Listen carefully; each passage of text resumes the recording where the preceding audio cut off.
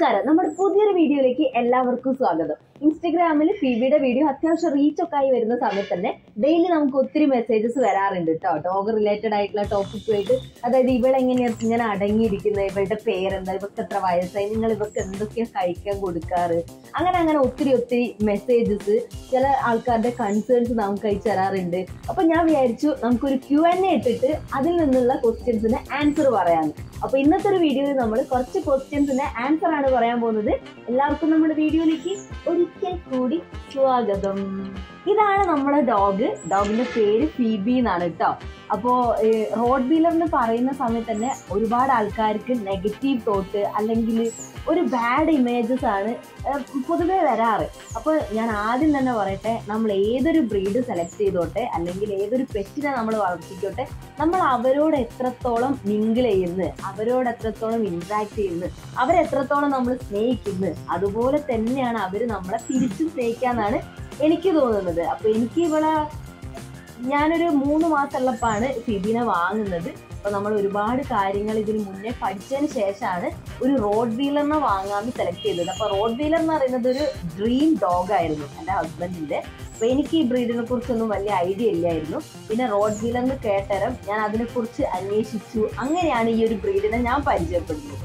അപ്പൊ ചെറുതാണ് സമയത്ത് എല്ലാ ഒരു പപ്പി സ്റ്റേജിൽ എല്ലാ ഡോഗ്സിനെ കാണാനും നല്ല ഭംഗിയായിരിക്കും. നല്ല ക്യൂട്ടായിരിക്കും അതുപോലെ തന്നെ ക്യൂട്ടായിട്ടുള്ള ഒരാളായിരുന്നു ഇത്. അപ്പം ഈ ഒരു റോഡ് വീലർ ഇത്രയും ഡേഞ്ചർ ആയിട്ടുള്ള ഡോഗാണെന്ന് പലരും പറയുമ്പോഴും എനിക്കിതിനെ ആക്ച്വലി നമുക്ക് എല്ലാവർക്കും വീട്ടിൽ വളർത്താൻ പറ്റിയിട്ടുള്ള ഒരു ബ്രീഡായിട്ട് തന്നെയാണ് തോന്നുന്നത്. അപ്പൊ നമുക്ക് ക്വസ്റ്റ്യൻസിലേക്ക് കടന്നാലോ. ആദ്യത്തെ ഒരു ക്വസ്റ്റ്യൻ എന്ന് പറയുന്നത് ഇവളുടെ വയസ്സാണ്. ഇവക്ക് ഇപ്പോ രണ്ട് വയസ്സായി. ഒരു മൂന്ന് മാസമുള്ളപ്പാണ് ഫിബിനെ വാങ്ങിയത്.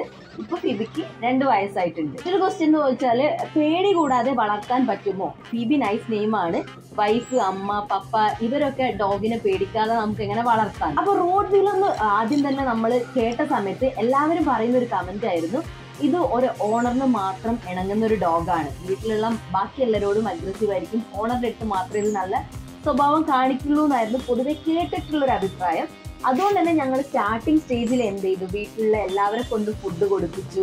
വീട്ടിലുള്ള എല്ലാവരുമായിട്ട് മിങ്കിൾ ചെയ്തു. അപ്പോൾ ഇവളധികവും ഈ വീടിനുള്ളിൽ തന്നെയാണ് ഉണ്ടാവാറ്. അങ്ങനെ നമ്മൾ കൂട്ട് കിടത്താറില്ല. ആഹ് തന്ന സമയത്തും റീസെന്റ് സ്റ്റാർട്ട് ചെയ്തതാണ് കൂട്ടിൽ കൊണ്ടുപോയി ഇടാൻ വേണ്ടിയിട്ട്. അതുകൊണ്ട് തന്നെ ഇവളുടെ ആ ഒരു ചെറിയ സ്റ്റേജിലെല്ലാം ഇവൾ വീട്ടിൽ തന്നെ ആയതുകൊണ്ട് തന്നെ വീട്ടിലുള്ളവരുമായിട്ട് നല്ല കണക്റ്റഡ് ആയിരുന്നു. അതുകൊണ്ട് തന്നെ ഇവിടെ ആർക്കും പേടിയില്ല ഇവർ ഇവിടെ ആരെടുത്തും അവൾ അങ്ങനെ ബാഡ് ആയിട്ട് ബിഹേവും ചെയ്യാറില്ല. അപ്പൊ ഇതിന് വേണ്ടിയിട്ട് നിങ്ങൾ ആദ്യം തന്നെ എല്ലാവർക്കും കൊണ്ടും ഫുഡ് കൊടുപ്പിക്കുക ആദ്യം തന്നെ എല്ലാവർക്കും കൊണ്ടും മിങ്കിൾ ഏൽപ്പിക്കുക ഒരു ബേബി ആയിരിക്കുന്ന സമയത്ത് കേട്ടോ ഇവന് ഫുഡ് എന്തൊക്കെയാണ് കൊടുക്കാറുണ്ട് അപ്പൊ ആദ്യം തന്നെ പറയട്ടെ ഫീബി ഒരു ഫീമെയിൽ റോഡ് വീലർ ആണ് കേട്ടോ ഇവരല്ല ഇവളാണ്. അപ്പൊ ഇവക്ക് കൊടുക്കുന്ന ഫുഡ് എന്ന് പറയുന്നത് പപ്പി സ്റ്റേജിലൊക്കെ നമ്മൾ പെഡിഗ്രി തന്നെ തന്നെയായിരുന്നു കൊടുക്കാറ്. പിന്നെ ഒരു വലുതാവുന്നതിനനുസരിച്ച് നമ്മൾ ഇവളുടെ ഫുഡിലെല്ലാം ചേഞ്ച് വരുത്തിയിട്ടുണ്ട്. അതിപ്പോൾ നമ്മൾ ചിക്കൻ കൊടുക്കും ചില ദിവസം ചില ദിവസം മുട്ടയായിരിക്കും മീനായിരിക്കും ബീഫായിരിക്കും അങ്ങനെല്ലാം മാറ്റി മാറ്റി കൊടുക്കാറുണ്ട്. പക്ഷെ അവൾക്ക് കുറച്ചുകൂടി ഇഷ്ടം ചിക്കൻ ആണെന്ന് തോന്നുന്നു. അപ്പൊ ചിക്കൻ നമ്മൾ മഞ്ഞപ്പൊടി ഇട്ട് വേവിച്ചിട്ട് അങ്ങനെയാണ് ചോറിൽ മിക്സ് ചെയ്തിട്ടാണ് കൊടുക്കാറ്. പിന്നെ ഇപ്പൊ ഇവക്ക് അഡൽട്ട് സ്റ്റേജ് ആയിട്ടുണ്ട്. അപ്പൊ ഡോക്ടർ കഴിഞ്ഞ പ്രാവശ്യം കണ്ട സമയത്ത് പറഞ്ഞിരുന്നു ഇവർക്ക് കുറച്ച് വെയിറ്റ് കൂടുതലാണ്. നിങ്ങൾ ഫുഡ് എന്ത് ചെയ്യണം? രണ്ട് നേരത്തേക്ക് ആക്കണം എന്ന് അപ്പൊ ഇപ്പൊ രണ്ട് നേരെ ഫുഡ് കൊടുക്കാറുള്ളൂ. ഒന്ന് രാവിലെയും ഒന്ന് ആ ഒരു വൈകുന്നേരം ഒരു സെവൻ ഓ ക്ലോക്ക് ഒക്കെ ആകുന്ന സമയത്തും. അപ്പൊ രണ്ട് നേരമാണ് ഫിബിക്ക് നമ്മൾ മെയിൻ ആയിട്ട് ഫുഡ് ഇപ്പൊ കൊടുക്കുക പിന്നെ ഒരു ക്വസ്റ്റ്യൻ എന്ന് പറഞ്ഞാൽ ഇവളെ എങ്ങനെയാണ് നിങ്ങൾ മെയിന്റെയിൻ ചെയ്യുന്നത്? എനിക്കൊരു ലാബ് ഡോഗ് ഉണ്ട്. അത് ഇങ്ങോട്ട് എന്ന് വിളിച്ചാൽ അങ്ങോട്ടേക്കാണത് അപ്പൊ ശരിക്കും നമ്മളൊരു ഡോഗിനെ വാങ്ങുന്ന സമയത്ത് നമ്മൾ ശ്രദ്ധിക്കേണ്ട ഒത്തിരി കാര്യങ്ങളുണ്ട്. നമ്മൾ അവർക്ക് പഠിപ്പിച്ചു കൊടുക്കേണ്ട കുറച്ച് കമാൻഡ്സ് ഉണ്ട്. യെസ് നോ അതുപോലെ തന്നെ ഫുഡ് അഗ്രഷൻ അങ്ങനെ കുറച്ച് കുറച്ച് കാര്യങ്ങളുണ്ട്. അപ്പൊ ഞാൻ ഇവിടെ വാങ്ങിയ സമയത്ത് ഒരുപാട് യൂട്യൂബ് ചാനൽ വീഡിയോസ് ഒക്കെ റെഫർ ചെയ്തിട്ട് ബേസിക് ആയിട്ടുള്ള കമാൻഡ്സ് എല്ലാം ആദ്യം പഠിപ്പിച്ചിരുന്നു. ലേറ്റ് വീഡിയോ പോലുള്ള ചാനലിൽ ക്ലിയർ ആയിട്ട് കാണിച്ചിരുന്നത് എങ്ങനെയാണ് നമ്മൾ ഡോഗിനെ ട്രെയിൻ ചെയ്യേണ്ടതെന്നൊക്കെ. അപ്പം ആ, വലിയ ട്രെയിനിങ് ഒന്നുമില്ലെങ്കിലും ബേസിക് ആയിട്ട് എന്ത് എന്തെല്ലാം കാര്യങ്ങളാണ് നമ്മൾ പഠിച്ചെടുക്കേണ്ടത് ഇവരെ കൊണ്ട് പഠിപ്പിക്കേണ്ടത് എന്നൊക്കെയുള്ള കാര്യങ്ങൾ ആദ്യം മനസ്സിലാക്കിയിട്ട് ഞങ്ങൾ ആദ്യം ഇവളെ ട്രെയിൻ ചെയ്തിരുന്നു ഒരു പപ്പി സ്റ്റേജിൽ അതുകൊണ്ട് തന്നെ ഇപ്പൊ നോ യെസ് അങ്ങനെ ഒരുപാട് കമാൻഡ്സ് ഒക്കെ അവർക്ക് അറിയുന്നത് കൊണ്ട് തന്നെ അത്ര വികൃതിയില്ല. നമ്മൾ നിൽക്കാൻ പറഞ്ഞാൽ അവിടെ നിൽക്കും. ഒരുപാട് മലയാളം വിളിച്ചു പറയട്ടോ നമ്മളിപ്പോ എന്തെങ്കിലും മലയാളത്തിൽ പറയുന്ന സമയത്ത് അവർക്ക് അത് പെട്ടെന്ന് മനസ്സിലാവാറുണ്ട്. കാരണം സംസാരിച്ച് നമ്മളെ കൂടെ തന്നെ ആയതുകൊണ്ട് തന്നെ കുറെ കാര്യങ്ങളൊക്കെ അവർക്ക് പെട്ടെന്ന് മനസ്സിലാവാറുണ്ട്. No no no no.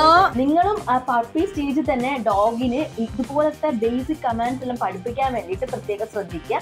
എന്നാൽ നിങ്ങൾക്കും ഇവരെ മെയിന്റെയിൻ ചെയ്യാൻ വളരെ എളുപ്പമായി എനിക്ക് എന്റെ സിംബയെ ട്രെയിനിങ് ചെയ്യണം. സോ വല്ല ടിപ്സും ഉണ്ടോ എന്ന് ചോദിച്ചിട്ടുണ്ട്. ഇതന്നെയാണ് ടിപ്പ് ഞാൻ ഇതുപോലെ യൂട്യൂബ് ചാനലിലെ വീഡിയോസ് ഒക്കെ കണ്ടിട്ടാണ് ഇവിടെ ട്രെയിൻ ചെയ്ത് എടുത്തിട്ടുള്ളത് അതുകൊണ്ട് തന്നെ ഇപ്പൊ അത്ര വികൃതിയോ കുറുമ്പോ ഒന്നും കാണിക്കില്ല കേട്ടോ. നമ്മൾ പറഞ്ഞാൽ അതനുസരിച്ച്. ഇവക്ക് എത്ര വയസ്സായെന്ന് ഒരുപാട് ക്വസ്റ്റ്യൻ വന്നിട്ടുണ്ട്. അപ്പോൾ ഇവക്ക് ഞാൻ നേരത്തെ പറഞ്ഞ പോലെ ഇപ്പോൾ അവക്ക് രണ്ട് വയസ്സ് കഴിഞ്ഞ് ഒരു മൂന്ന് മാസമുള്ള സമയത്താണ് ഞങ്ങൾ വാങ്ങിയത്. ഇപ്പോൾ അവൾ രണ്ട് വയസ്സുള്ള വലിയ കുട്ടിയെ. അല്ലേ? വലിയ കുട്ടിയില്ലേ? കുട്ടിയില്ലേ? ആ മറ്റൊരു ക്വസ്റ്റ്യൻ എന്ന് പറഞ്ഞാൽ ഫീബീനെ എപ്പോഴും ഇങ്ങനെ ചെയിനിലിട്ടിട്ടാണല്ലോ കാണാറ്. അപ്പോൾ നിങ്ങൾ എപ്പോഴും ഫുൾ ടൈം ചെയിനിൽ തന്നെയാണോ ഇടാറ്? അതെന്തുകൊണ്ടാണ് അങ്ങനെയാന്ന് ചോദിച്ചിട്ടുണ്ട്. ഇവിടെ ഇരുന്ന് റീൽസോ അല്ലെങ്കിൽ ഇതുപോലെ വീഡിയോസൊക്കെ ചെയ്യുന്ന സമയത്ത് മാത്രമേ ഇവിടെ ഞങ്ങൾ ചെയിനിലിടാറുള്ളൂ കേട്ടോ ഇവളെ രാവിലെ നമ്മൾ ഇങ്ങനെ അകത്തോട് അയച്ചു വിട്ടാൽ അവൾ അവളുടെ ഇഷ്ടത്തിന് എവിടെയെങ്കിലും പോയിട്ട് കിടന്നുറങ്ങുമോ അങ്ങനെ എന്തെങ്കിലുമൊക്കെയാണ് ചെയ്യാറ്. പിന്നെ എനിക്ക് റീൽസ് എടുക്കേണ്ട സമയത്ത് മാത്രമാണ് ഇതാ ഇതുപോലെ കെട്ടിടാറ്. പിന്നെ അവൾക്ക് തൊട്ട് ബാക്ക് ഞങ്ങളുടെ വീടിന്റെ തൊട്ട് മുന്നിലായിട്ട് കൂടും. അതുപോലെ തന്നെ അത്യാവശ്യം വലിയൊരു കോമ്പൗണ്ടും ഉണ്ട്. അപ്പൊ അതിനുള്ളിൽ കയറ്റിയാലും ഇവിടെ ചെയിനിൽ ഇടാറില്ല. അതുകൊണ്ട് തന്നെ ഇങ്ങനെ നമ്മൾ വീഡിയോസോ കാര്യങ്ങളോ ഒക്കെ ചെയ്യുമ്പോൾ മാത്രമേ അവളെ ചെയിനിൽ ഇടാറുള്ളൂ കേട്ടോ നമുക്കും അങ്ങനെ ഇഷ്ടമല്ല ഇവരെ ഫുൾ ടൈം ചെയിനിൽ ഇടുന്നതിനോടുകൂടി. പിന്നെ നമ്മുടെ സിറ്റുവേഷൻ ആണ്. നമുക്കിപ്പം അല്ലാത്ത സമയത്ത് ഇങ്ങനെ അയച്ചിടാനൊന്നും പറ്റില്ല. രണ്ട് ഭാഗവും ഡോർ അടച്ചാൽ മാത്രമേ നമുക്ക് അയച്ചു വിടാൻ വേണ്ടിയിട്ടും പറ്റാറുള്ളൂ. കാരണം നമ്മളെ വീടിന്റെ ഒരു സൈഡിലുള്ള മതിലെല്ലാം പൊളിഞ്ഞടക്കാണ് അപ്പൊ അതിലൂടെ തൊട്ട് മുന്നിൽ തന്നെ റോഡ് സൈഡ് ആണ്. അപ്പൊ നമുക്ക് കൺട്രോൾ ചെയ്യാൻ പറ്റില്ല. ചില ദിവസങ്ങളിൽ നമ്മൾ അകത്ത് അയച്ചു വിട്ടത് ഓർക്കാതെ വാതിൽ തുറന്നിടാറുണ്ട്. അപ്പൊ ഇറങ്ങി ഓട്ടുണ്ട്. പക്ഷെ അതിപ്പോ നമ്മൾ കോമ്പൗണ്ടിൽ തന്നെ എവിടെയെങ്കിലും ഉണ്ടാവും. അതുകൊണ്ടാണ് ചെയിനിൽ എപ്പോഴും ഇടാറില്ല. ഇങ്ങനെ വീഡിയോ എടുക്കുന്ന സമയത്ത് മാത്രമേ ചെയിനിൽ ഇടാറുള്ളൂ. നിങ്ങളും അതുപോലെ ശ്രമിക്കുക. അവരെ ഫുൾ ടൈം ഇങ്ങനെ ചെയിനിൽ ഇടാതെ ഒരു വാക്കിങ്ങിനൊക്കെ കൊണ്ടുപോവുക അവരെ ഹാപ്പി ആക്കുക. ഡോഗിന്റെ നെയിം ചോദിച്ചിട്ടുണ്ട്. അപ്പൊ നമ്മളിപ്പോ ഒരു പപ്പീനൊക്കെ വാങ്ങുമ്പോൾ നമ്മൾ ആദ്യം തന്നെ കൺഫ്യൂസ്ഡ് ആവുക. ഇവർക്ക് എന്ത് പേരിടും ഞങ്ങളും അതുപോലെ തന്നെ ഒത്തിരി സെർച്ച് ചെയ്തിരുന്നുണ്ട്.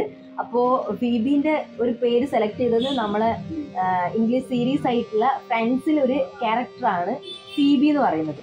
അപ്പൊ ആ ഒരു പേരാണ് ഇവക്ക് വേണ്ടിയിട്ട് നമ്മൾ ഇട്ടത്. ചേച്ചി എനിക്ക് വൺ ഇയർ ആയിട്ടുള്ള ഒരു റോഡ് വീലർ ഉണ്ട്. അതിന്റെ ഹെയർ ഒരുപാട് പോകുന്നുണ്ട്. അപ്പൊ അതിനെന്താണ് ചെയ്യാൻ? അപ്പൊ ഒരു ഡോഗിന്റെ ലൈഫ് സ്പാനിൽ ഒരു വർഷത്തിൽ എന്തായാലും രണ്ട് തവണ അതിന്റെ രോമം കൊഴിയും.